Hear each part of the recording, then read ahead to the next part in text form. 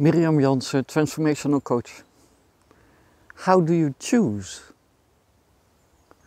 How can you be sure that what you choose is the right choice? The only way to know that it's really a right choice is trust. When it is the right choice, your whole body will know it is the right choice and not only your mind.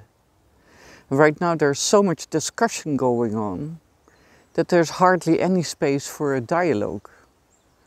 And in that dialogue, people listen to each other. Organizations listen to each other.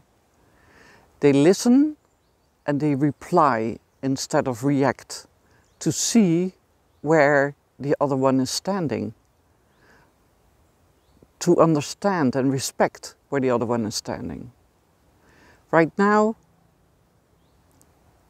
there's a lot of discussion going on which means fighting.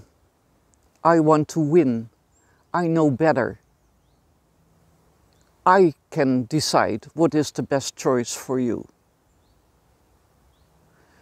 But when you started to become aware of yourself, your abilities, your sensitivity, your creativity, your longing to be a true human being, then you started developing receptors a long time ago.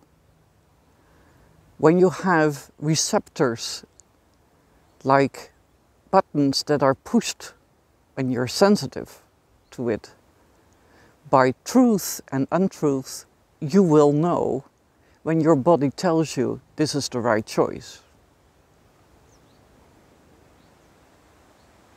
For me, right now, it's the right choice to stand here. It's drizzling. There's a bit of rain, so the water this time comes from up there instead of back there. Oh gosh. But it feels great to be outside. Space. It nurtures my body. It nurtures my senses and it cleans my receptors. So when I go back in to dive in this overwhelming amount of information,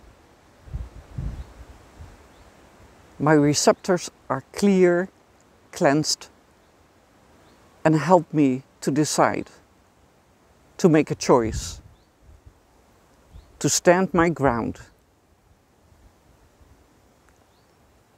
and find others who understand their ground as well.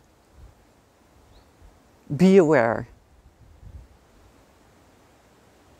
The times are getting tough.